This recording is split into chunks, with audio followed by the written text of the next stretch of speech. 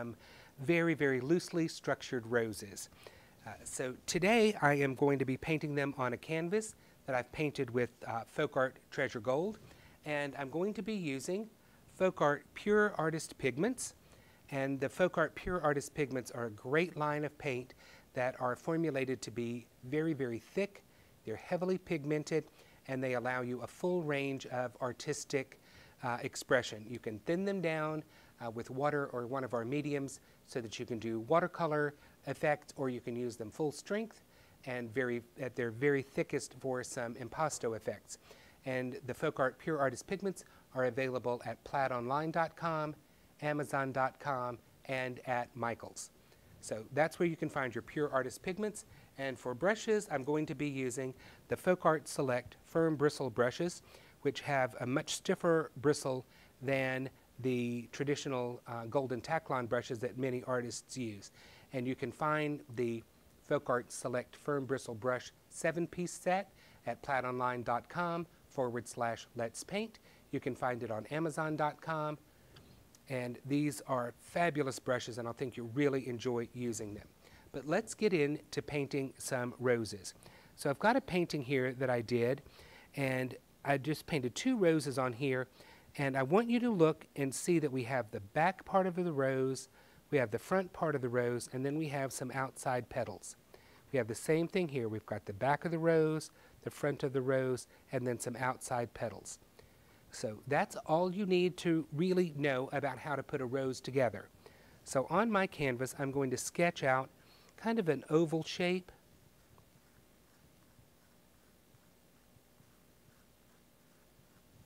All right, so I'm going to make a smaller oval inside there.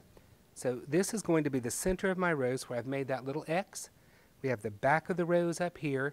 We have the bottom of the rose, and I'm not really doing anything around the outside edge. You'll see why when we start painting. So this is all you need as a guide uh, to help you keep uh, everything in place while you're painting the rose. So I'm going to start uh, with my darkest color on my rose, which is going to be the Folk Art Pure Artist Pigment, and the color is called Asphaltum. And this just looks like a dark brown when you put it on your palette, but in reality, it is a beautiful golden honey brown color. And so it is um, a transparent color and it does wonderful things in all sorts of different applications when you're painting. But for us, it's going to give us a great kind of transparent golden brown color. Now, I don't usually paint with very much water, which is uh, kind of goes against the grain of what a lot of acrylic artists use but you don't need a lot of water. Before we actually start painting, I want to remind you of a phrase that will help set your mind at ease about any uh, worries you have about painting roses. And the phrase is, you get what you get and you don't pitch a fit. So just realize that some of this is just going to happen organically and you just need to relax and kind of go with it. And these roses are definitely unstructured. We're going to come in for a little bit of a close-up here. So I want you to see that there's nothing very structured about these flowers. So every petal is not painted. There are a few um, key things that I'm going to point out to you, but most of this is just happenstance. We're going to put what we hope is the right color of paint in the right spot, and that's how our painting is going to work out for us. So I'm going to pick up a little bit of asphaltum on my brush and I'm using uh, number 12 brush. Not too big, not too small, but I don't want a lot of paint on my brush, so I'm working it out here on my palette. And I'm going to paint using just the corner of my brush. All right? I'm not laying the brush down flat like that to paint. What I'm going to do is I'm going to put the corner of my brush down and I'm going to do a lot of scrubbing. So here's how to hold your brush. Put the handle of the brush in the palm of your hand and then grip the brush like so. Holding your brush this way will make your painting have a much more painterly quality and be much less finely rendered. So let's start right here where our rose is going to be the darkest, right here in the center of our flower. So I'm going to put the corner of the brush down and I'm going to tap and kind of pat some dark color into the center of the rose. Just pat it on, and then I'm taking the corner of my brush and I'm just giving a little bit of a scrub, putting some color up into the flower. Let's take a look at that, and you can see it's not anything that's terribly planned out. All I know is that this is going to be the darkest part of the rose, and that's really the interior of the flower. Now, I'm going to put a little bit of the same dark color right here at the bottom of my flower. Let's move that in for a close-up so you can see I've got just a little bit of that on there. Not too much.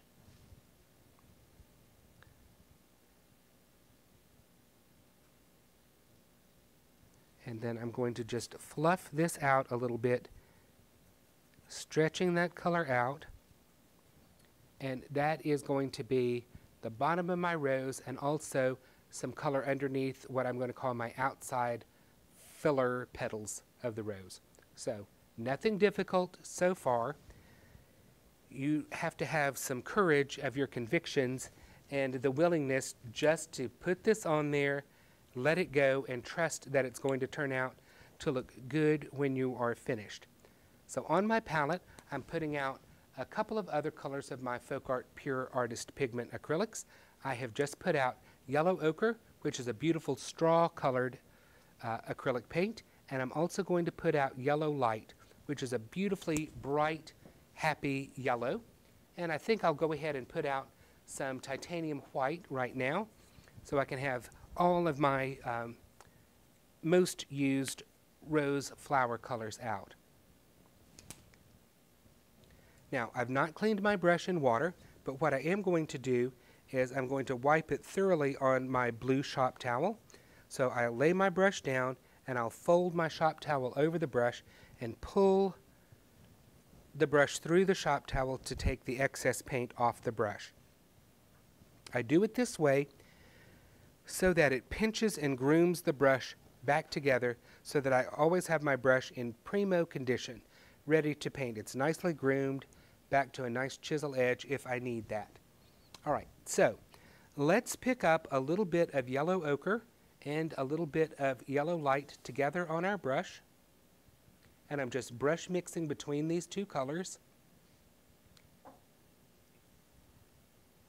And I'm going to show you that we are going to create um, basically a ring around um, the center portion of our rose.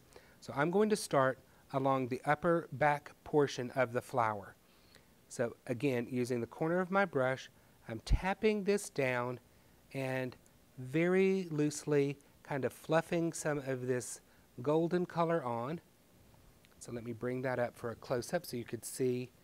There we go. You could see where that uh, looks what that looks like. I will try to paint up here for just a minute so you can see a little bit more of what I'm doing. And the important thing is as I come around, I'm going to tap the brush and you can see this starting to form the front part of the rose. So again, it is yellow ochre and yellow light on my brush. I'll do the same thing over here on this side, fluffing a little bit of this color on and then bringing it down now, I'm going to come across the front of the rose and I'm going to set the brush down, put a stroke on. I'll move here to the front, put another stroke on. I'm going to come over here and this time instead of putting a stroke like this, I'm going to lay my brush down to the side and put a big stroke on there. And I'll pick up a little bit more yellow light and I'll make another stroke right up there. So that didn't show up very well, so let's try that again. There we go. Okay. So what I really want you to pay attention to is the fact that we have now created this circle around the dark portion of our rose. And I can't resist playing in this, so I'm going to basically lay my brush down kind of parallel to the surface of the canvas. And I'm going to drag a little bit of this yellow color that's on my brush onto the flower. So very loose, not, not uh, specific petals, not in any, not numbering them, not doing any of that stuff. We've created a circle. And I'm going to continue with my brush mix of yellow ochre and yellow light. I'm going to put a little bit right here in the front of the rose. I'll do another little stroke over here. And I'll pull a little bit down this way and stretch that up. And I want you to think about a beautiful fluffy rose. I don't want you to try to be thinking about specific petals or the shape of any one petal or whether it's too light or too dark. I mean, that's not, the, the, now is not the time for that. So we have more petals to put on around here. So let's just make sure that the front of our rose has a nice bit of depth to it. it I mean, a little bit of height. So it's not so narrow. And then we'll simply start out here and I'll pat on a little bit of a petal over here and we'll pat on one over there and we will come down here to the front of the rose where it's going to be widest at the bottom and I'm just touching on and pulling some color up and letting it hang out a little bit. So this is what we have so far and it doesn't look like much but it does have the general shape of a flower and as I'm looking at it I want to make sure that I've got just a little color here and there, kind of filling in some of the gaps. So I'm simply patting some of this color on, kind of giving the rose a little bit of a spanking. All right, so this is good enough for the underneath uh, or the first layer of our flower. I am looking at this on the monitor here so I can see what I'm doing and I want to bring a little color down further into the center of the rose. So not very much paint on my brush, and I'm going to lay the brush down and just kind of tap a little bit of this yellow on. And you can see that I just put a little bit of a fluff of color down in there. So not too much going on here, not too uh, fancy, not too structured, very, very loosely structured flower. I'm going to wipe my brush off. And I'm going to pick up some yellow light. And I'm still mixing kind of in the same little puddle here. So if it's got a little yellow ochre in there too that's fine. Nothing to worry about. Because remember you get what you get and you don't pitch a fit so I'm picking up a little bit of titanium white and just brush mixing this in to lighten my color up a little bit and brush mixing is easy to do you just mix your colors right on your palette and you see exactly what you're getting. So now we're going to start putting on kind of the fun uh, part of this, some of the lighter colored petals. And there's not a set rule to this. So again, I'm going to start on the corner of my brush, holding my brush as far back on the handle as I can, and touch and tap. And you see that some petals are just falling off of the brush as I'm tapping and patting this on. I'm not trying to be fussy about shape of strokes or any of that sort of stuff. I just want to put a layer of lighter color on and I'm going to let some of that trail down into the flower a little bit. Not as far as I did the other and not covering up my dark, but just bringing some down in there. If you look at this, kind of finished painting, you can see that the interior parts of these roses are pretty dark and you have to have that dark light contrast or your painting will not be attractive. All right, so remember that circle that we started. So I'm putting some of this light color on here and effectively we are going to recreate our circle.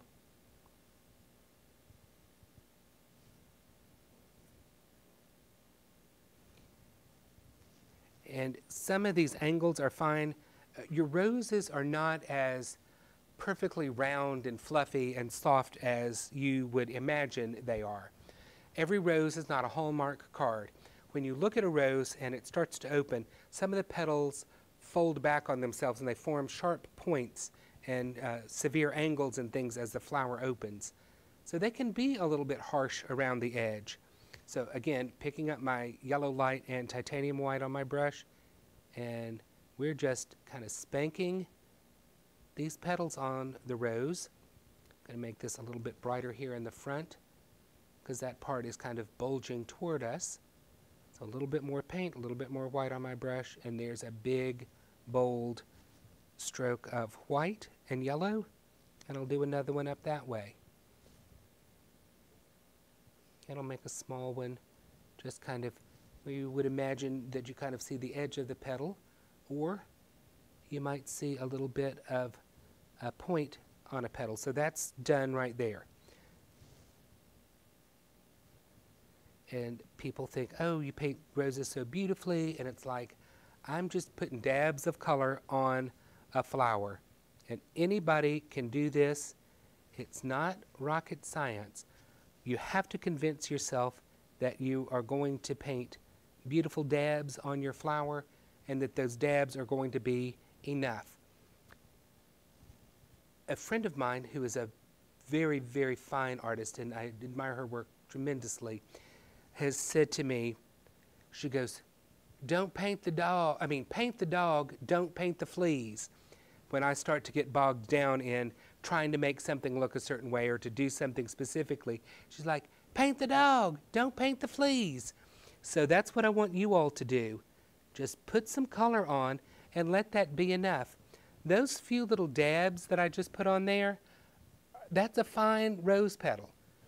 And the thing is, when someone looks at your painting, they're going to know it's a rose, or at least a flower, and you don't have to paint anything else to explain that to them. So I'm going to put a petal right across the front here. So dab, dab, lay the brush down, big dab, smaller dab, smaller dab. And that's a five dab of paint that made that uh, petal there. Super easy. We're not um, oh, that's a little bit more than I wanted to put on there. I had too much paint on my brush. But you get what you get, you don't pitch a fit. So I'm going to wipe my brush off and just touch my brush back in this paint and I'm going to stretch that white out a little bit and I'll pick up some more and we'll do another kind of, that's too much paint on my brush and I need to pay attention to that so I don't mess things up.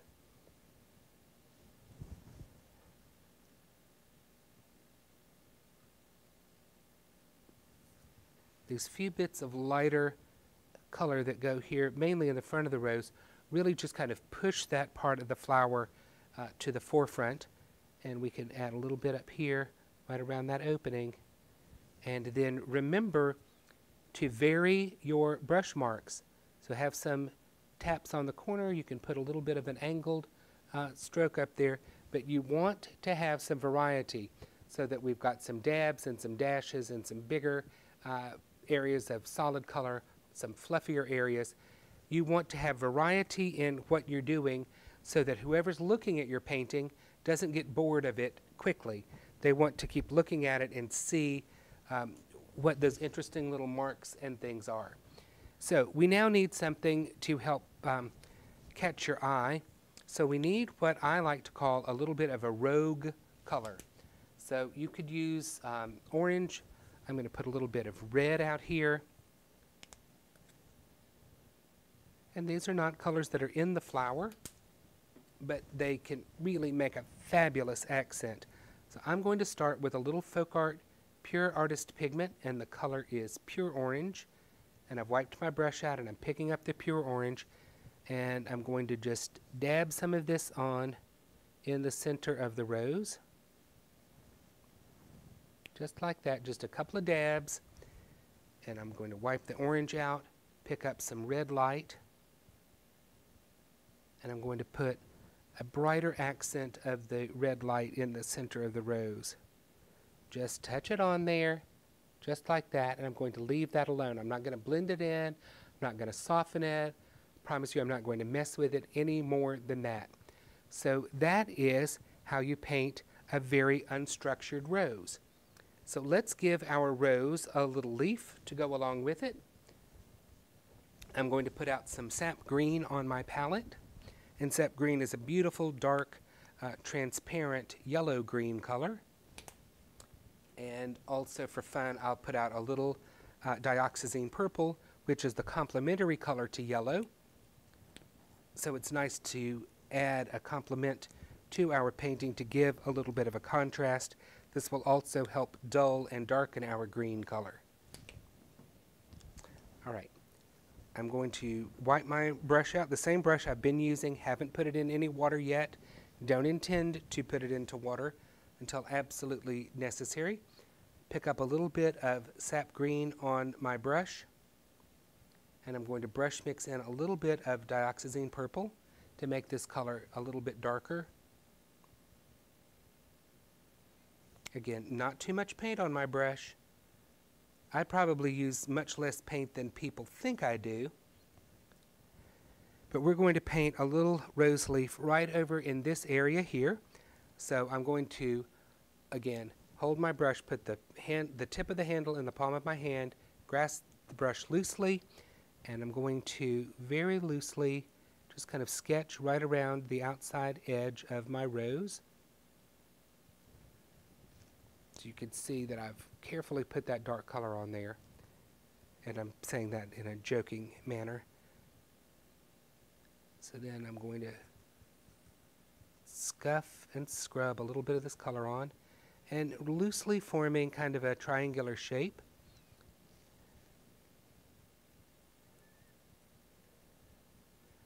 Again, we're painting the dog, not painting the fleas, so this is plenty for somebody to understand that we are painting a leaf on here. I'm adding a little bit more dark, just patting this color on, and there's not much paint on my brush, so when I give you the super close-up, you can see that you could see through it a little bit. So again, not much paint on the surface. And now let's highlight this leaf a little bit. I'm going to wipe that dark green color, which was sap green and a little dioxazine purple out of my brush. I'm going to pick up some yellow light and I'm going to add some of this sap green into my yellow light, creating a lighter green color. I don't want this to be too bright. We're going to add some more highlights on top of this. So this is going to be a medium green color here. And again, you don't want much paint on your brush. Doesn't take a lot of paint. But I'm going to indicate the center uh, vein of the leaf. I'm going to begin to tap the chisel edge of my brush on the leaf. And you can see a couple of little taps and we have a center vein line right on the leaf, just like that. And I'm going to lay the brush down, again, not much paint on the brush, lay the brush down very parallel to the surface of the canvas and pull a little bit of this lighter green off to one side and kind of tap and spank the canvas a little bit to release some of that light green. You can see it's just kind of tapped on there. I've not worked to blend it or soften it in in any way. And now on the other side of the leaf, I'm not painting right next to the center vein. I'm going to paint a little bit, uh, a little bit on the outside edge of the leaf. So you could see how I've highlighted out on the other side of the leaf.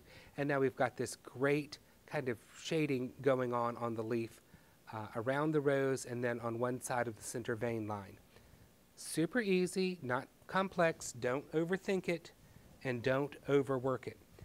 I'll wipe the color off of my brush, and I'll pick up a little bit of titanium white, and I'll add that here to this area of my puddle of paint on the palette where I've been brush mixing.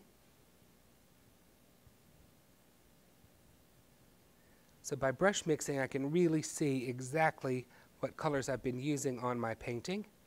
Again, not much paint on the brush. And I'm going to just kind of tap a little bit of this extra highlight on right over the center vein area. So just kind of touch this on pull a little bit. Let's tickle that out. Not much pressure on the brush, the smallest amount of uh, pressure, and I can add a little bit of light over on this side of the leaf. All right, very little paint, very little pressure.